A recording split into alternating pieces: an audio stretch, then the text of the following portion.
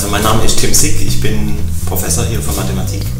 Ich bin seit September 2016 hier Professor und war aber davor schon über zehn Jahre an der Hochschule Esslingen tätig. Ich habe äh, Mathematik und Physik tatsächlich äh, beides studiert. Ich fand so viele Vorlesungen so erschreckend schlecht, dass ich damals schon gedacht habe, also sollte ich jemals da vorne stehen, dann würde ich es irgendwie ganz anders machen. Die Begeisterung zu vermitteln ist äh, ein ganz wichtiger Aspekt, insbesondere in den ersten beiden Vorlesungen in Analysis. Das sind nämlich so ein bisschen Angstvorlesungen. So mehr freut es mich dann, wenn man immer mal wieder so nach einem halben Semester in irgendwelche Gesichter blickt, wo man merkt, ah, da ist jetzt echt der Funke übergesprungen.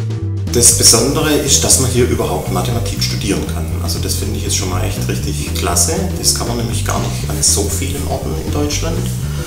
Die Mathematiker haben es wirklich relativ leicht unterzukommen. Also es gibt einen ganz großen, ganz viele Möglichkeiten, wo sie nachher landen können, bei Versicherungen oder Banken und überhaupt auch in ganz vielen Bereichen, wo man es vorher so gar nicht vermutet. Auch in ganz vielen Bereichen, die eigentlich letztlich äh, technischer Natur sind, steckt Mathe drin und braucht man Mathematiker.